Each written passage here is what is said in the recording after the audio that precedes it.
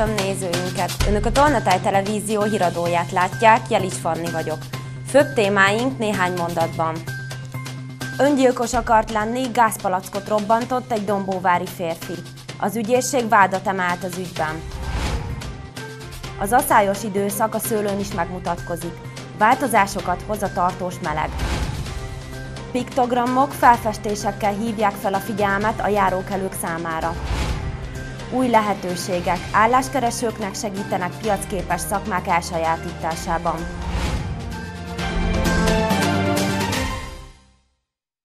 A Szexárdi járási ügyészség közveszélyokozás büntette miatt emelt vádat a napokban egy 47 éves férfi ellen, aki tavaly októberben öngyilkossági szándékból felrobbantott egy gázpalackot a Dombóvári társasházi lakásában. A férfi tettével közveszélyt idézett elő. Egy több mint 10 kilós PV gázpalackot robbantott fel egy férfi az egyik dombóvári társasházban még 2023. októberében. A vádlott öngyilkos akart lenni. A vádlott kb. 4 órán keresztül engedett ki gázt a gázpalacból, majd ezt egy öngyújtóval begyújtotta. A kiáramló gáz belobbant, robbanást idézett elő, melynek következtében tűz keletkezett. A vádlott ezután az égő lakását és a nyitott gázpalackot hátrahagyva kiszaladt az épületből. A tüzet a kiérkező tűzoltók oltották el, illetve ők hatástalanították a gázpalackot is.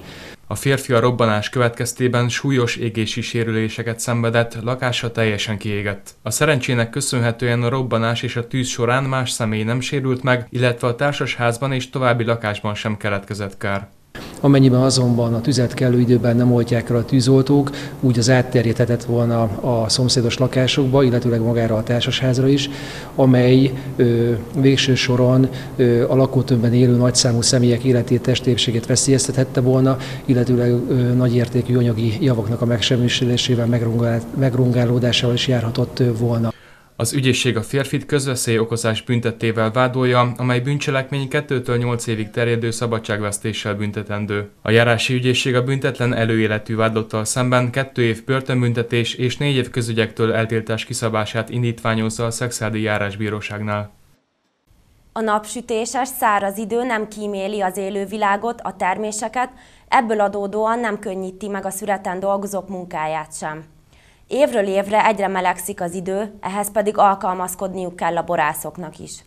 Szexádi családi pincészetüknél fogadott minket Takács Attila, aki elmondta, június közepe óta nem hullott jelentősebb csapadék, így erőteljes vízhiányjal kellett megküzdeniük. Hogyha végignéztek a szőlőkön, akkor itt már az asszály tünete látszik, tehát gyakorlatilag elkezdtek már elszáradni a levelek. Érdekes módon a, a, van, olyan fajta, ami nehezebben reagált, tehát ez főleg onnan lehet észrevenni, hogy a légkinyerés az rosszabb, mint általában szokott, és az erjedésnél is e, inkább ilyen fenolos erjedés felé tolódnak el e, a folyamatok, ami azért nem könnyíti meg a borászoknak az életét. Az évjárat jónak tűnik, hiszen az asszály egyik, talán egyetlen előnye, hogy nem volt beteg a szőlő viszonylag egészséges fürtök voltak. Azért azt kell mondani, hogy vigyázni kell, lett a cukorfokra, nagyon erősen cukrosak voltak a szőlők, nagyon sok helyen a sav az erőteljesen beesett, tehát ebből a dologból még én szerintem bármi lehet. Azért van egy jó alap, de azért ezek után majd, mikor készek lesznek a borok, azt majd elmondhatjuk. Még most előre nem tudom ezt így megmondani, de a másik dolog, hogy hogyan tudjuk megelőzni, hát igazán sehogy. Tehát esőt csinálni nem tudunk. Itt, eh, hogyha ugyanilyen marad az idő, eh, akkor, akkor bizony teljesen megváltozik ez a szőlő és a borágazat. Vannak olyan fajták, amik a tartós meleg miatt teljesen megadták magukat. Így fogalmazott Takács Attila. Egyik ilyen például a cvejgelt. Most ez a hideg tűrő fajta, ez ezt a 40 fokos meleget nagyon nem bírta, és gyakorlatilag a fürtök összefonyadtak. Innentől kezdve nem hiszem, hogyha ilyen marad az idő, hogy például a Zweigert fajtával húzamosabb ideig találkozni fogunk. Viszont ennek ellentétében a szirá pedig egy gyönyörűen beérett szőlőt adott az idén, neki nagyon jól jött ez a meleg, tehát ez azt jelenti, hogy lesznek fajták, amelyeket lassan elfelejthetünk, de ehelyett lesznek olyan melegtűrő fajták, aminek viszont a termesztése itt rentábilissá válik. A szüret egy hónappal előbb érkezett, így idén hamarabb tudnak évet értékelni a borászok, és felkészülnek rá, hogy valószínűleg a jövőben is ilyen időjárási körülményekkel kell majd számolniuk.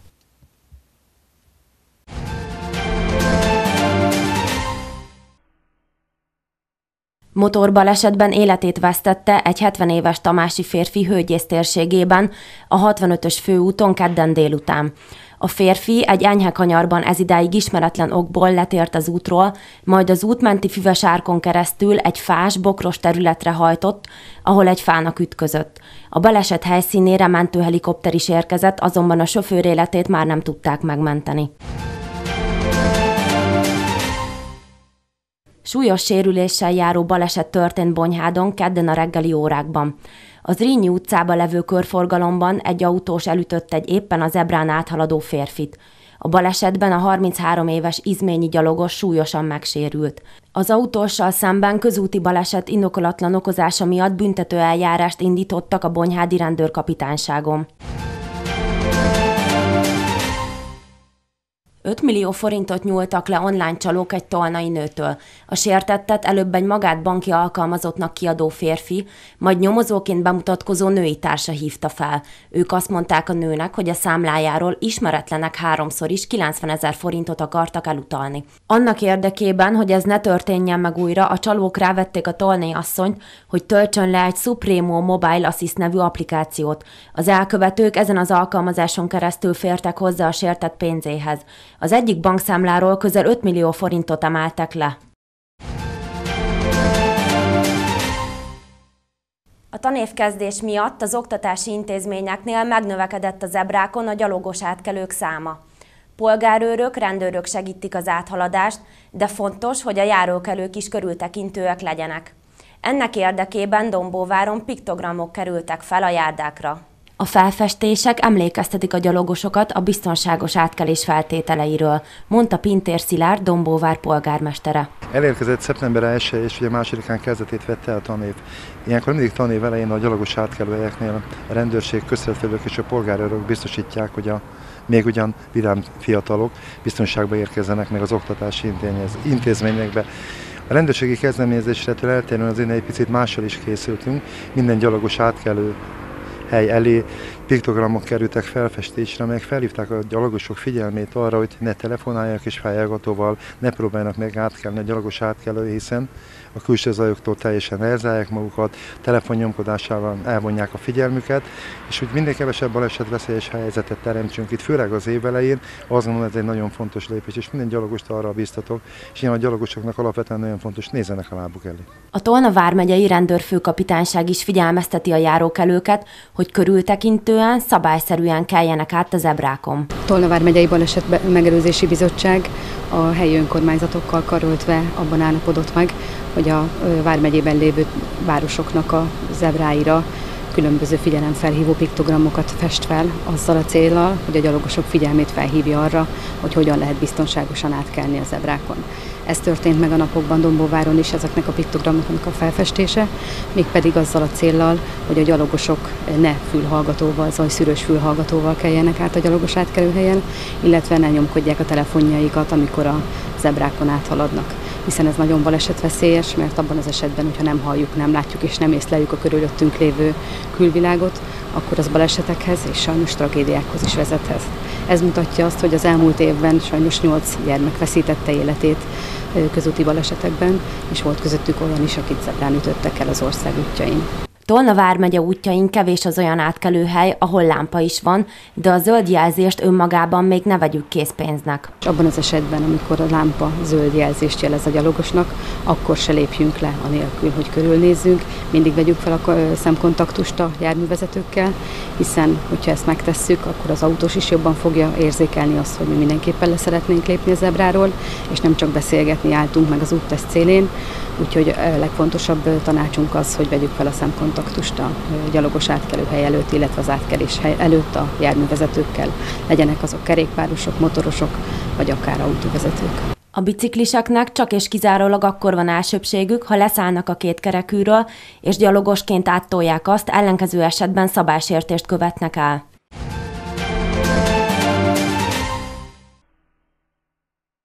Idén első alkalommal hagyományteremtő jelleggel rendezték meg a Pillakupát Faddon a település aktív segítőkész vállalkozója Mihálovics István emlékére, írta Bordács József a település polgármestere Facebook oldalán. Mihálovics István egy nagyobb társasággal hétről hétre aktívan pingpongozott Faddon. Ezek az alkalmak mindig vidám hangulatban teltek. Ezt a jókedvet igyekeztek felidézni a róla elnevezett asztali teniszkupával. A parlagfű pollen koncentrációja országosan nagyon magas, tart a parlagfű pollen szezon csúcsidőszaka, közölte honlapján a Nemzeti Népegészségügyi és Gyógyszerészeti Központ. A hét első napjain a megélénkülő keleti szél a Dunántúra is további nagy mennyiségű pollent szállít, enyhülés a következő napokban még nem várható. A parlagfűre érzékenyeknél jelentkezhet orr és szárnyálka hártya viszketés, orfolyás, tüsszögés, szemviszketés. A Tolna Vármegyei Szakképzési Centrum a foglalkoztatási, foglalkoztatás felügyeleti és munkavédelmi főosztályával együttműködve indít szakmai képzéseket álláskeresők számára. A résztvevők egy tanév alatt sajátítják el a sikeres vizsgákhoz szükséges szakmai ismereteket. A Tolna vármegyei kormányhivatal munkahogyi szervezete 2011-től egészen 2020-ig jelentős számú tanfolyamot szervezett, amivel évente több száz munkanélkülinek tudtak segíteni piacképes szakmai ismeretek elsajátításában, amelyek birtokában állást tudtak találni maguknak. Tájékoztatott Némedi Ágnes főosztályvezető. 2020-tól megváltozott a szakképzési rendszer, ugye az OK-s képzések megszűntek, és onnantól kezdve a munkaügyi szervezet nem tudta követni ezt a változást. Ennyi időre volt szükség, nagyjából négy évre, hogy felállítsuk azt a rendszert, hogy újra tudjuk az álláskeresőket képzésbe vonni. Ez az idei év az első próbaidőszakunk, ennek következtében mindösszesen hét szakmát mertünk a Tolna vármegyei szakképzőcentrummal együtt megcélozni. Szeptember másodikán sikerült elindítanunk a szakács és pénzügyi számviteli ügyintéző képzésünket, ahova álláskeresőket tudtunk delegálni a szakképzőcentrum részére. Hozzátette, az álláskeresők intenzívebb, 9 hónap alatt végezhetik el a tanfolyamokat a szakképzési centrum valamennyi oktatási intézményében. Minden nap 6-7 órában a napi munkavégzés helyett ben kell ülniük az iskolába mivel álláskeresők, ezért mi támogatást nyújtunk ehhez a képzéshez. Az álláskeresők minden hónapban a minimálbér összegét megkapják tőlünk, ezzel tudjuk biztosítani azt, hogy a család fenntartó is tudjon akár egy szakmát tanulni. Amellett, hogy a minimálbér összegét megkapja, azok a családok, ahol 12 év alatti gyermeket nevelnek, plusz támogatásban részesülnek. Illetve azzal is kell számolniuk, hogy ha valaki vidékről jár be valamelyik képzésünkre, akkor neki az úti költség támogatásra is plusz összeget adunk. Szeptember 9-én hétfőn négy szakmában indítanának tanfolyamot, amelyel garantálni tudják az elhelyezkedést. Az alábbi képzésekben vehetnek részt a jelentkezők. Szociális ápoló és gondozó Dombóváron, Tamásiban hegesztő, Szexárdon pedig villanyszerelő, valamint gépi és CNC forgácsoló. Dömötör Csaba, a Tolnavár megyei szakképzési centrum kancellárja számolt be a képzésekről. Az elsődleges célja ezeknek a képzéseknek, hogy olyan ismerethez, tudáshoz, gyakorlati kompetenciákhoz juttassuk a hozzánk érkezőket, akik jelen pillanatban álláskeresők, amelyek segítségével a munkaerőpiacon könnyen el fognak tudni helyezkedni. A szakmai kurzusok akkor indulnak el, ha a jelentkezők száma eléri a 12 főt.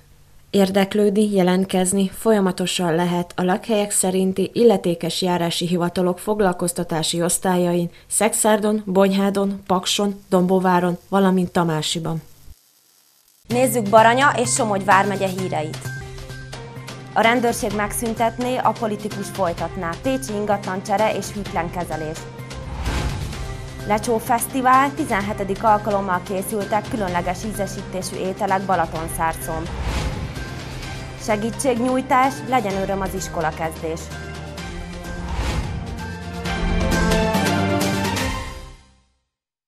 Megszüntette a Tolna vármegyei rendőrség a Pécsi ingatlancsere ügyében indított nyomozást.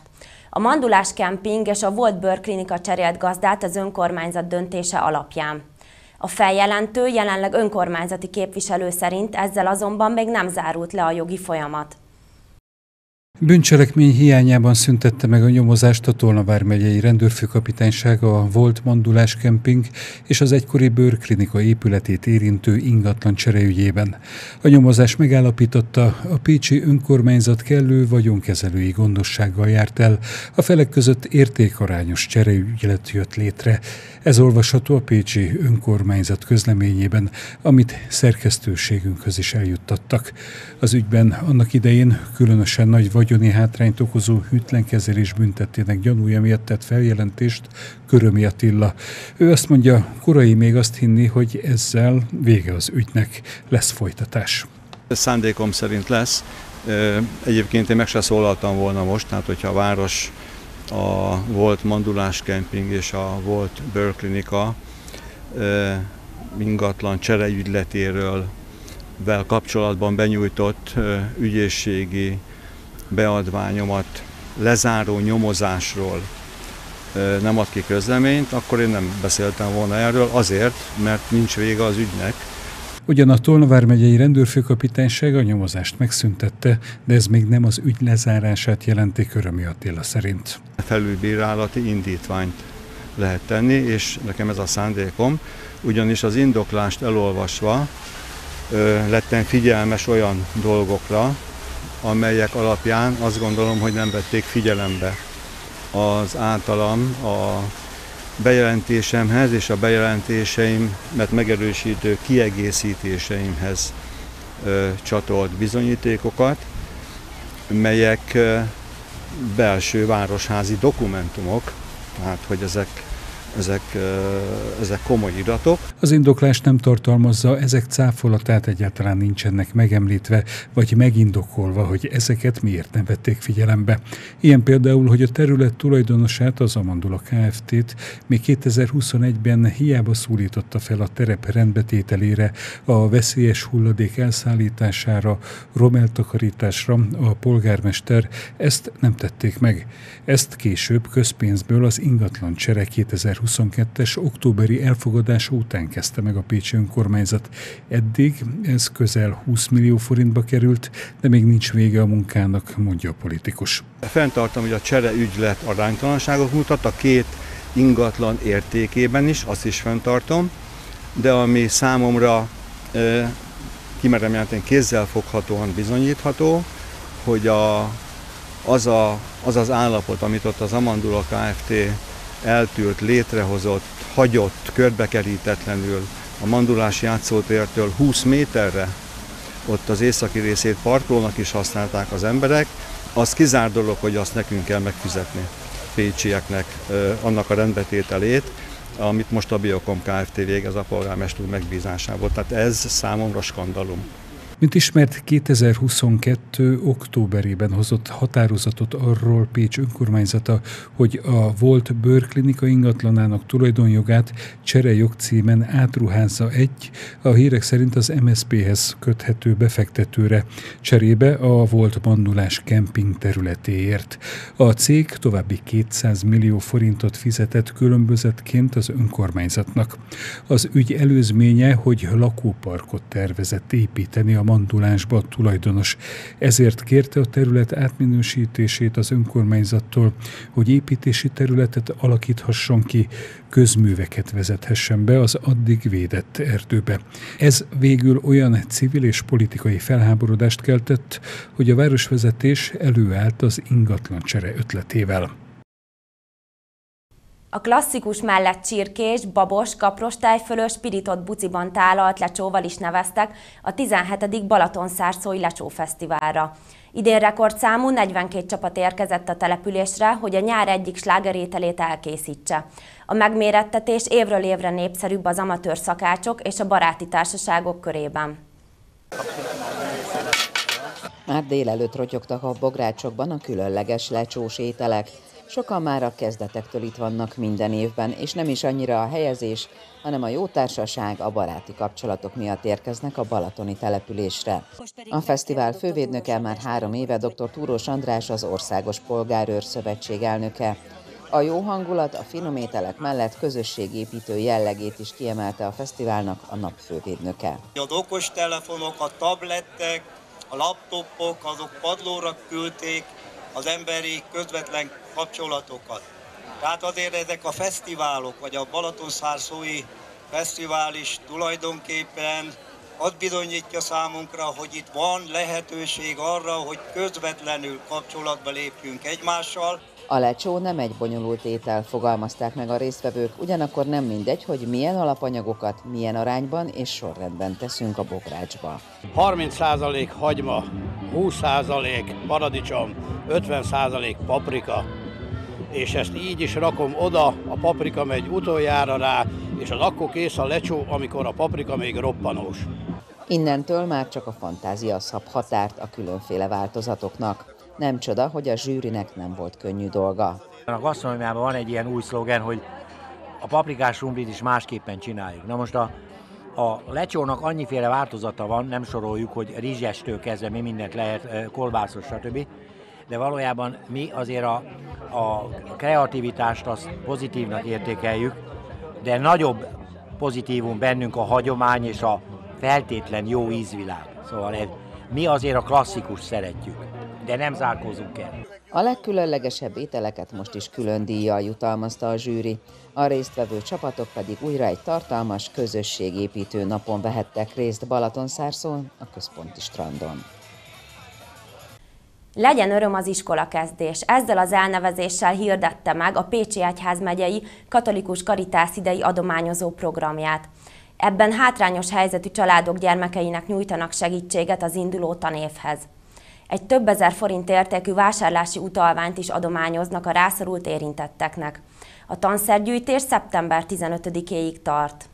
Az itt látható tanszerek, iskolatáskák csak egy részét alkotják annak a mennyiségnek, amelyek adományba mennek a rászoruló családok gyermekeinek. A Pécsi Egyházmegyei Katolikus Karitász idén is szervezett gyűjtési akciót az érintett iskolások részére, mondta Besenci Zsolt igazgató. Ebben az időszakban nagyon sok családnak nehézséget okoz a megélhetés mellett az, hogy még plusz hozzá rakódik az iskolakezdéshez kapcsolódó plusz költségek és feladatok és ebben a helyzetben próbálunk mi segítséget nyújtani különböző módon. Ennek egyik része az, hogy tanszer ajándékokat, illetve iskolakezdéskor gyűjtünk olyan adományokat, amit a családoknak átadunk. A segítségnyújtás másik módja, hogy iskolakezdési utalványokkal támogatják az igazoltan rászoruló családokat. A Caritas csoportok közreműködésével térképezik fel, kik kaphatnak ilyet, tette hozzá az igazgató. Ebben az időszakban nagyon sok családnak nehézséget okoz a megélhetés mellett az, hogy még plusz hozzá rakódik az iskolakezdéshez kapcsolódó plusz költségek és feladatok, és ebben a helyzetben próbálunk mi segítséget nyújtani különböző módon. Ennek egyik része az, hogy tanszer ajándékokat, illetve iskolakezdéskor gyűjtünk olyan adományokat, amit a családoknak átadunk. Az adományokat a Pécsi Egyházmegyei Katolikus Karitás szeptember 15-ig várja a felajánlóktól. Mutatjuk Tolna vármegye híreit még egyszer röviden. Öngyilkos akart lenni, gázpalackot robbantott egy dombóvári férfi. Az ügyészség vádat emelt az ügyben. Az aszályos időszak a szőlőn is megmutatkozik. Változásokat hoz a tartós meleg. Piktogramok felfestésekkel hívják fel a figyelmet a járókelők számára. Új lehetőségek álláskeresőknek segítenek piacképes szakmák elsajátításában.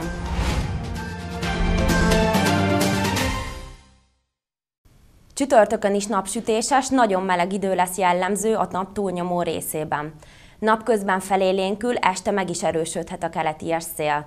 Az esti időszakban a nyugati határvidéket megközelítheti egy tőlünk nyugatra található ciklon csapadékzónája. Az eleinte még sokféle élénk szél, éjjel fokozatosan mérséklődik.